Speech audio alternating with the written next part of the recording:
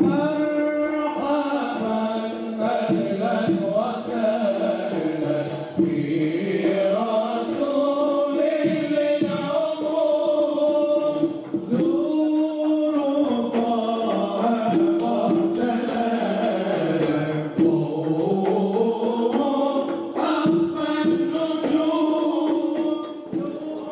ومرحبا بكم أعزائي المشاهدين وهذه الفقرة التي نخصصها للاحتفاء بذكرى المولد النبوي الشريف والذي تقيمه منتدى الجالية الجزائرية هنا بمدينة إسطنبول احتفاء بذكرى المولد النبوي الشريف. سنتعرف إياكم على فعاليات هذا الحفل الذي تقيمه الجالية ومنتدى الجالية الجزائرية وسنكون معكم في باقة من الفقرات. نسعد بكم.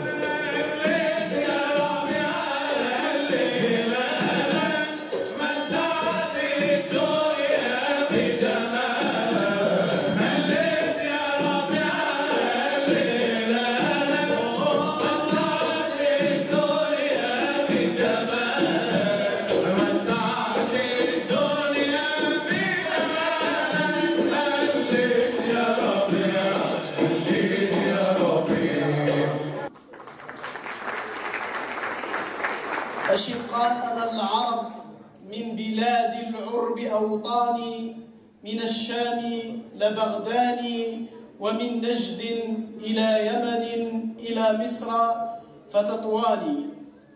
إخواننا في بلاد الإسلام كلها ومن كل أرض قال فيها المؤذن أشهد وعلى فيها ذكر النبي محمد عليه أفضل الصلاة والسلام. أهلا وسهلا أقول.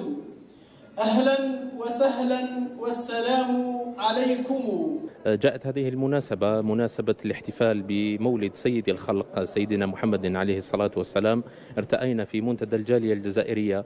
أن نبادر لهذا الاحتفال ونجمع الجزائريين بصفة خاصة وباقي الجاليات العربية للتعارف ولإحياء هذه المناسبة خاصة ونحن في غربة ونحن خارج ديار الوطن لنذكر أنفسنا بقيمة هذا اليوم العظيم وقيمة نبينا صلى الله عليه وسلم.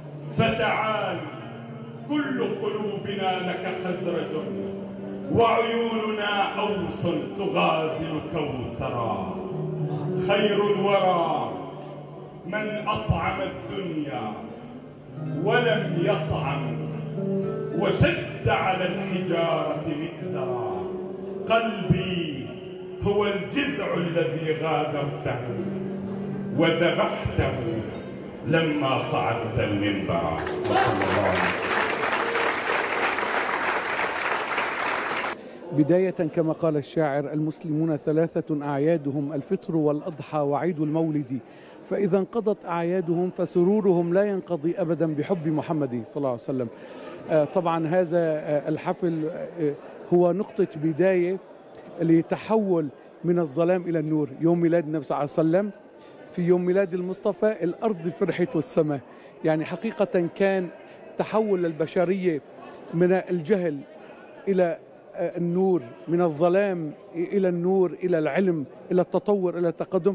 فحق يعني يحق للأمة الإسلامية أن تفرح في هذا اليوم وتتخذ عيد الجوهر الأساسي أنه يوم المولد النبوي الشريف لمت العائلة الكبرى ولمت لم الشمل هو اللي يميز هذه المناسبة. وجمعت الكبار والصغار وجمعت الجزائريين كلهم خاصة في إسطنبول. كذلك بقية الجالية من الجالية العربية فكان لهم نصيب في الحضور الحمد لله. فيك سرت سفني وشراع القرب ينشر لي أمني من طين وسواك من ذنب ونوى. أرحل لك مني فالبعد دواء والحمد لله اليوم إحنا كجالية مغربية لبينا الدعوة للحضور. والحمد لله يعني آه، هذه المناسبة كتثبت لنا يعني عندها ذكريات جميلة جدا وكتربطنا بالوطن وكتربطنا بالأحاسيس الدينية الإسلامية. والحمد لله اليوم ما شفنا ما شفناش فقط جزائريين أو مغاربة شفنا كذلك فلسطينيين وإخوة من سوريا ومن دول عربيه شقيقه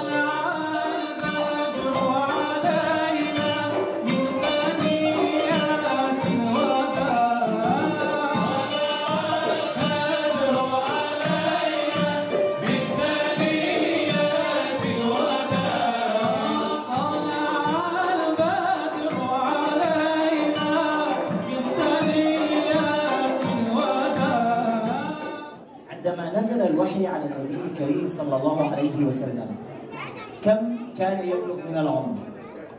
كم كان يبلغ من العمر؟ أربعين أربعين برافو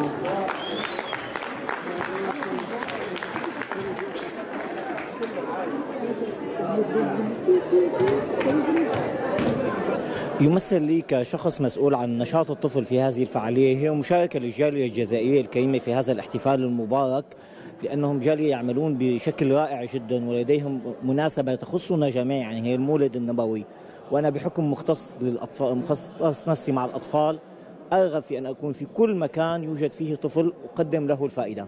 طبعا أنا كلاجئ سوري حضرت هنا من الجالية السورية وتشرفت بلقاء إخوتي من مختلف الجاليات العربية. طبعا يمثل ميلاد الحبيب صلى الله عليه وسلم هي يمثل ميلاده نور لكل البشرية ورحمة لكل البشرية عامة وليس فقط للمسلمين. فمن باب ألف أولى أن يحتفل ويحتفي المسلمين على اختلاف أصنافهم وأجناسهم وعرقياتهم وطوائفهم بميلاد الحبيب صلى الله عليه وسلم. ولد النبي وجاءت